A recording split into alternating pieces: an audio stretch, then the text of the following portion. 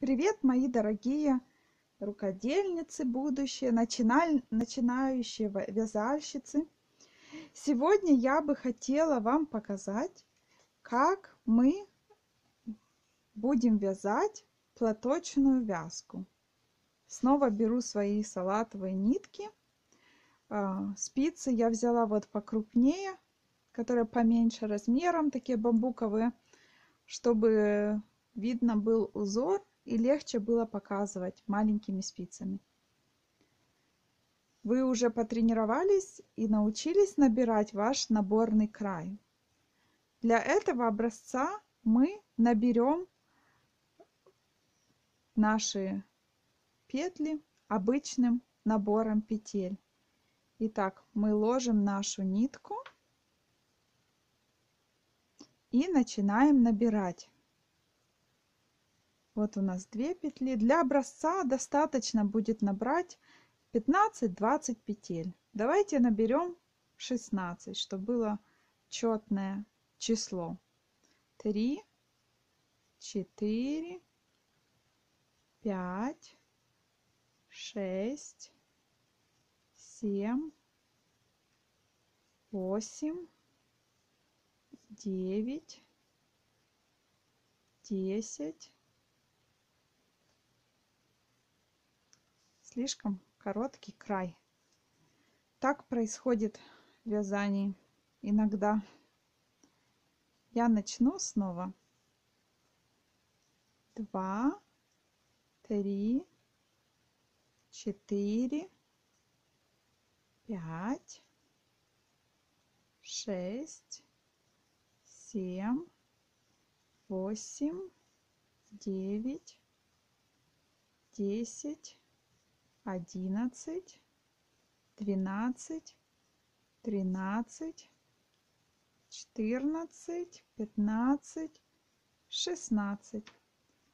Край мы завязываем один раз для того, что если мы э, будем распускать, чтобы легко было распустить, но в то же время, когда мы вяжем, чтобы петли наши, они были очень хорошо закреплены. Придерживаем край нити и достаем вторую спицу.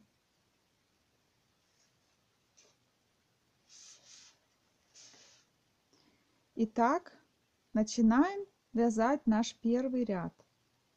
Платочная вязка всегда вяжется лицевыми петлями. И мы берем наш длинный край, снова ложим вот так между пальчиками и поднимаем нашу руку и захватываем средь... тремя нижними пальчиками и этим большим пальцем с этой стороны и держим. Значит, первая петля и последняя, они называются кромочные петли. Их провязывают обычно по-другому.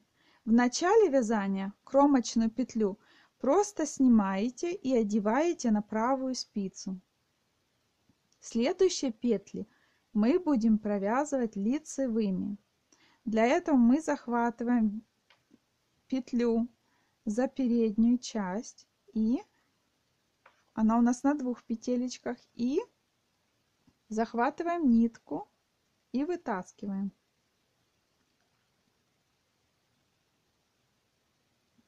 Снова давайте повторим. Захватываем, растягиваем немножко, подводим ниточку и вытягиваем ниточку через нашу петлю.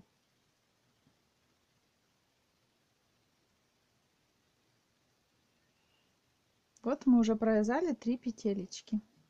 Покажу ближе и очень медленно. Захватываем. И вытаскиваем. Снова через следующую петелечку мы вытаскиваем. Для того, чтобы у нас получались лицевые петли, они вот такими вот косичками идут. Для этого нам нужно чтобы наша нитка была за вязанием. И мы спереди захватываем и протягиваем ниточку вперед, как бы сзади вперед. Вот так вот. Еще раз. Снова за переднюю берем ниточку и провязываем. Обязательно пальцами держим эти петелечки на правой спице и на левой. Иначе они могут соскочить и потеряться, распуститься. Мы этого не хотим. Если вдруг ваша петелечка сошла, то верните ее назад. И обратите внимание, когда вы вяжете, чтобы вам знать, куда идти. Если нитка присоединенная должна быть к правой спице. На левой спице нет нитки, видите? Поэтому мы знаем, что нам отсюда нужно брать и идти в сторону правой спицы. И мы дошли до последней кромочной петли. Последнюю кромочную петлю мы будем провязывать изнаночной петлей. Изнаночная петля это когда нитка идет впереди вязания. Видите, мы ее между спицами вперед. И мы захватываем тоже петелечку за верхнюю нитку и протаскиваем основную нить уже как бы с изнанки. Видите? И это мы делаем для того, чтобы наш край был, э, шла красивая косичка, а не обрубанные узелочки. Мы провязали первый ряд. Если бы мы сейчас перевернули наше вязание и вязали все петелечки изнаночными, видите, вот это вот, как выглядят изнаночные петелечки.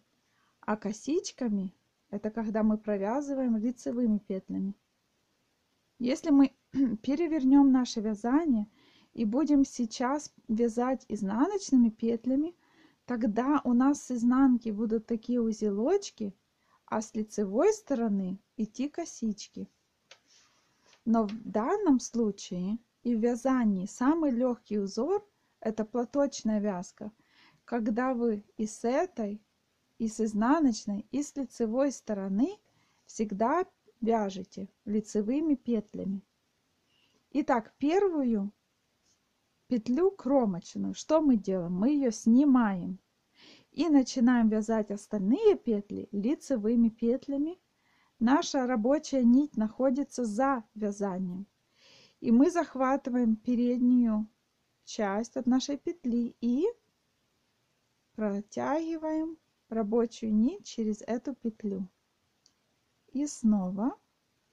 Главное, держите, придерживайте петелечки. Снова мы протягиваем и эту старую петелечку, через которую мы протянули, мы ее просто снимаем. Так как она уже не распустится, потому что рабочая нить протянута через нее. Так мы вывязываем до конца ряда. Если э, вы вяжете медленнее, чем я, то вы можете остановить видео и провязать до этого момента. А если это для вас слишком медленно, то выключайте и вперед быстро вяжите. Потому что мы все вяжем с разной скоростью, и я стараюсь показывать достаточно медленно, чтобы было понятно.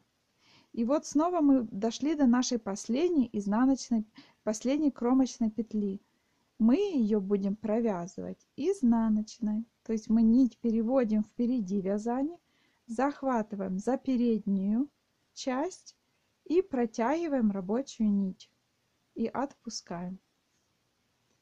Вот у нас теперь такие узелки и косички с этой стороны, косички и узелки. Так же само с этой стороны, косички и узелки. Мы переворачиваем наше вязание снова чтобы ниточка находилась у нас справа. И вывязываем следующий ряд. Первую кромочную что мы делаем? Помните? Мы ее снимаем. И все остальные петли мы вяжем лицевыми.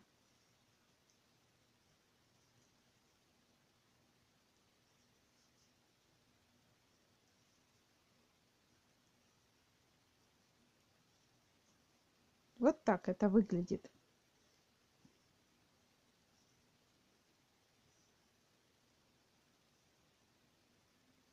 И когда мы доходим до конца ряда, помните, что последняя петелечка, она провязывается по-другому.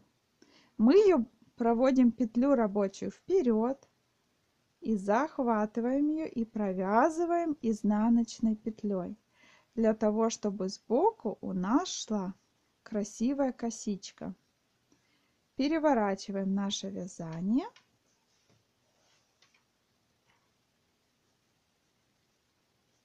И продолжаем вязать.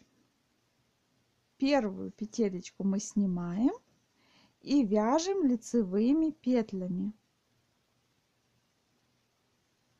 Захватываем за переднюю сторону и протягиваем рабочую нить через нашу петлю.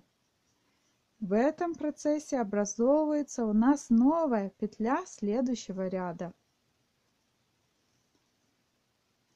Вот такой вот простой и нехитрый вид вязания. Называется платочная вязка. Он часто используется в разных изделиях и очень легкий в вязании. Вот должно получиться вот так вот. Ряд узелков, ряд косичек, ряд узелков, ряд косичек. И наше вязание с двух сторон смотрится одинаково.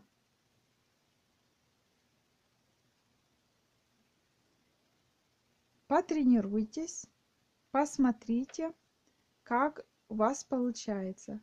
И на следующем нашем уроке именно этим рисунком мы будем вязать очень интересное и простое изделие. Я думаю, что всем будет начинальным вязальщицам, начинающим, будет интересно. Так что тренируйтесь, задавайте вопросы, если вдруг что-то было не видно, непонятно, потому что через камеру. Не все так легко и видно и понятно, как в жизни, но будем стараться научиться вязать, научить вас вязать на расстоянии. Если есть вопросы, задавайте в комментариях, подписывайтесь на мой канал и будем вместе делать первые шаги по вязанию и продолжать продвигаться в профессиональную сторону. Всем желаю вдохновений и успехов. Пока!